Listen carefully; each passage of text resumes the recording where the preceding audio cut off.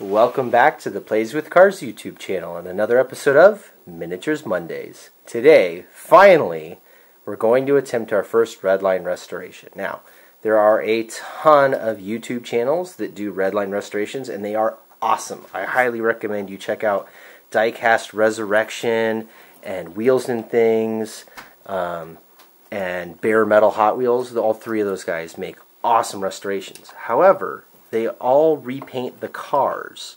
We have an idea. We picked these up uh, at a swap meet uh, down in Florida, and they are in really, really good shape, except for some corrosion and some like missing chrome and some bent axles and things. And we thought, I bet we can save this twin mill. Uh, this is an original 1968. It's got the uh, colored base on it instead of the chrome base that the later model ones have. And other than like some toning and a little bit of missing paint on the front, it's really a nice shape. So I bet if we polished the paint, got rid of the corrosion, touched up the chrome, and straightened all the axles, we would have a really nice car that's actually restored rather than like completely frame off restored, I guess. We wouldn't have to drill it out, we wouldn't have to paint it. But because this car is so nice and we kind of want to practice first, we've got this silhouette to try it on, um, which is got a lot more corrosion in it. You can see like the bubbling in the paint and stuff. And then we also have this, I believe this is a um, Torero? Yeah, Torero, which has the opening hood.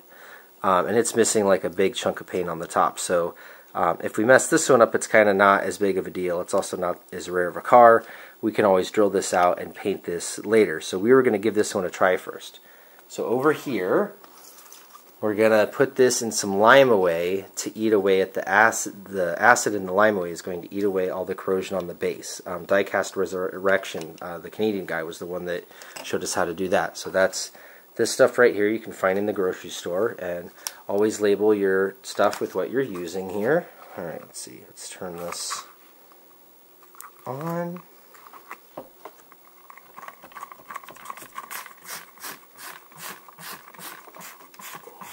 Nice good bath in there and we are going to drive it in. Ready? Woo! It's like it's getting a car wash. Yeah, it's like it's getting a car wash, huh? We're actually going to move this to the towel just so we don't mess up our little base there. And it's going to sit there for about five minutes. Now you can see on the base here we have a little bucket of H2O, which is uh, two hydrogens, one oxygen, which is water. Uh, we put just a dash of baking soda in it um, as a base to neutralize the lime away acid. And why don't you film those cars while I go get the tool, and then you can show some bubbling.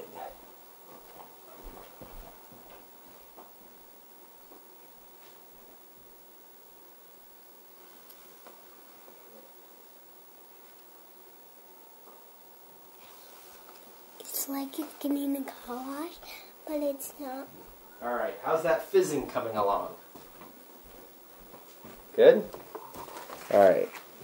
So what we have here while we're waiting is this is the tool that you need to fix the axles. Uh, and then here's the drill bit and, uh, no, no, always keep it that way. There you go. We have a new helper doing our filming. So this is the tap and drill set to drill the hole and then tap it. And these are the screws you use to put it back together. So we have, and then this is the um, uh, the collet, the piece that you use to put the tap in so that you can spin it. And this is the center punch. When you squeeze it, it makes a punch right out of there. And you can adjust its tension. So we got all the tools we need to actually rebuild it um, if we need to, but we're going to try it first. So let's show how to fix the wheels. We'll try on the blue one here. So see how these axles are bent down and you can't really drive the car? I'm going to take the tool and put it there and very gently kind of try to bend it up. that side worked pretty good. Let's try this side again. Wow, look at that. Look at how much straighter it is.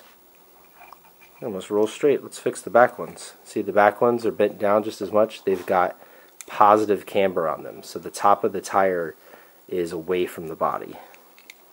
So what we're going to do is put the little tool in there. bend it the direction we want it to go.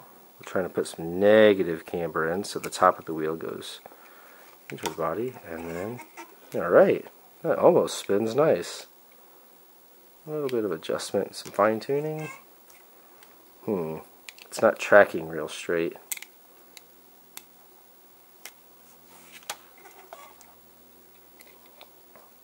The back wheels seem to be bent um, outward so the front of the back tire is facing out away from the car. Rear toe out. Fixing that ah. Well it's already much improved. Basically you just keep fiddling with it till you get them where you want. These are like super dry and need some grease and stuff so oh look at that. Whoa! We got it! Alright. So that's how you use the little tool. Seems to work really nice. Alright. Let's check on our Torero. It's been a couple of minutes. It should be nice and fizzy by now. You know what? I had. Maybe not. I a little brush for it. This is going to get all the corrosion off the base. I don't think you're supposed to touch this with your hands. Nah. I'm going to go grab a glove. You keep chewing the, the fizzing. I'll be right back.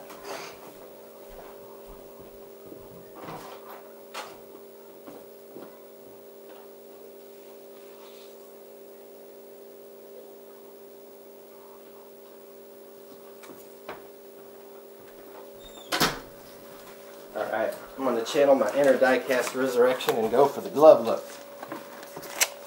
He always wears gloves. Love watching his videos. Alright. Should be all nice and fuzzy. And you know what else he does? He uses a brass brush. I have a brass brush. Ah! We were not prepared with tools. It's okay, it needs the fizzing. Brass brush. Is it the brass brush? It's in a brass brush. It's the handsome. I like that cards with this today.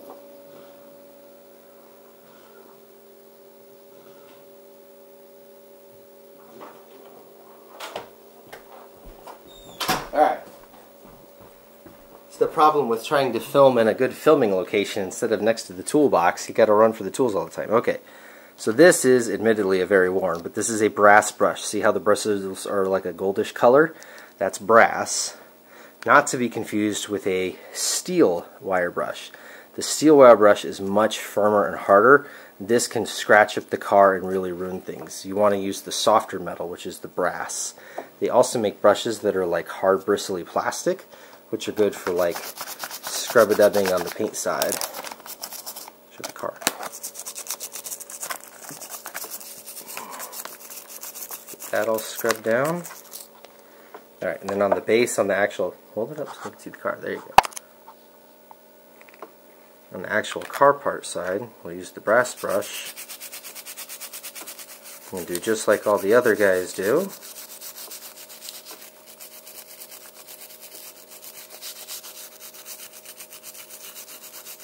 Um, cars in the video, Daddy.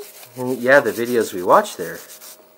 Hey, Daddy, the kids, the parents in the video kind of don't have kids. Well, the parents in the videos, they do have kids. Their kids just don't help them with their videos like you guys do. Whoa, look at all the fizzy. Show them the fizzy. Wow. Show them inside there, the fizzy. You guys see the bubbles fizzing out from the wheel wells? Of all the acid from the lime away being neutralized by the baking soda? That's like a science experiment right there. How cool is that? We'll give it a second to finish bubbling and fizzing. Take it out and take a look at it.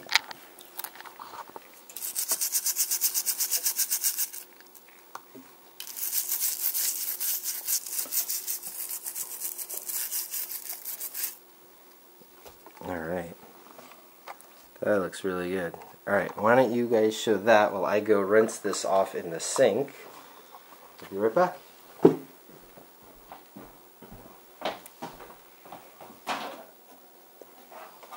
That's.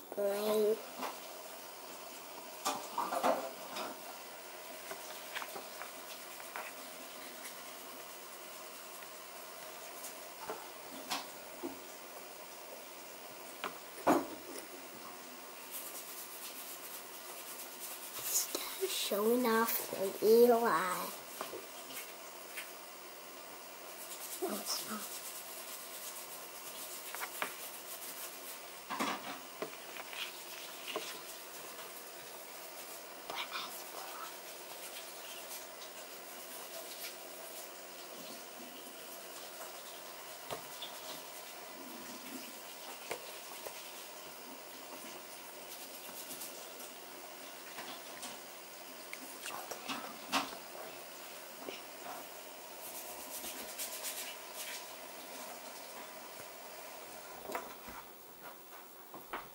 Alright. I'm gonna go dump this out. You guys show them the car all wet.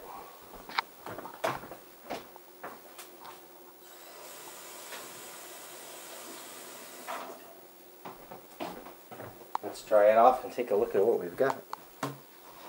Ready?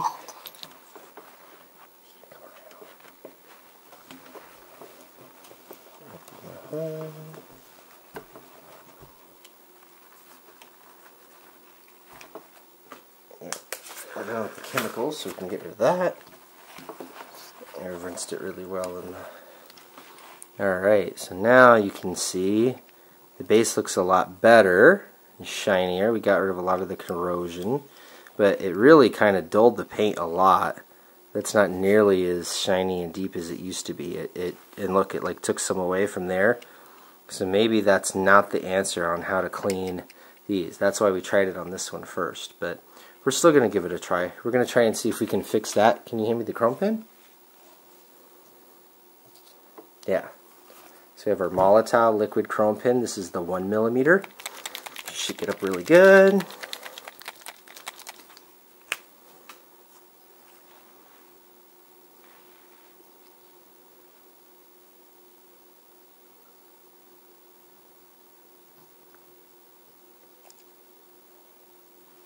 Well, looks like we can use that to fix the wheels. I'm talented enough to freehand draw a five spoke.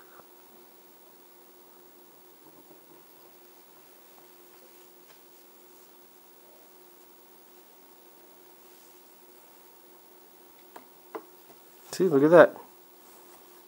We saved the wheel. Now we don't have to buy replacement wheels. They even get to keep the original wheels because the red line stripes are in such good shape. Let's try the back here.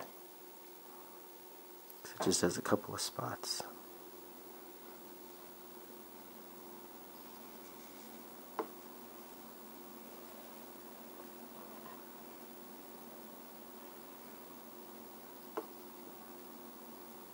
Alright. Try the other side. Try to like aim over there so they can see. Yeah, there we go. This would be way too hard to do through the camera, which is why I've got my helpers with me today.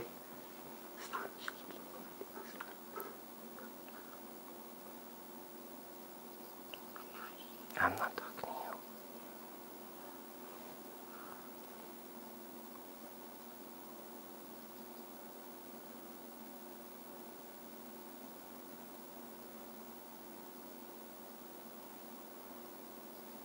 How's that one look? Does it look good in the screen? Yeah. Alright. Let's try this one.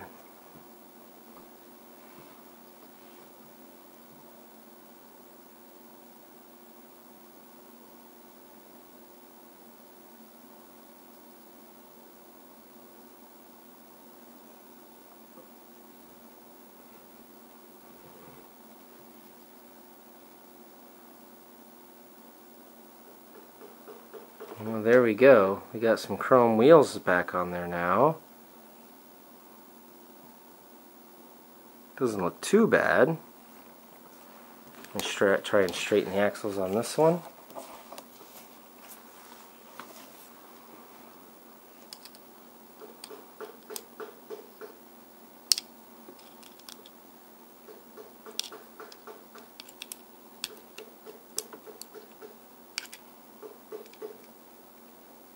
You can see the little white things in there. Those are the bearings. These are the wheels that pop off. Now if we were going to replace these, you want to cut the wheels off so you don't risk hurting the bearings.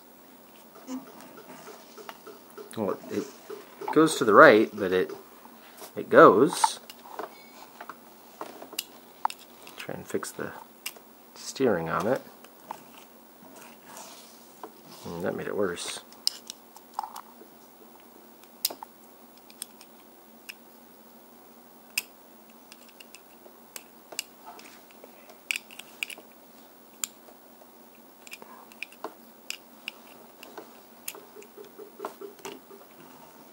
Oh, there we go. Woo!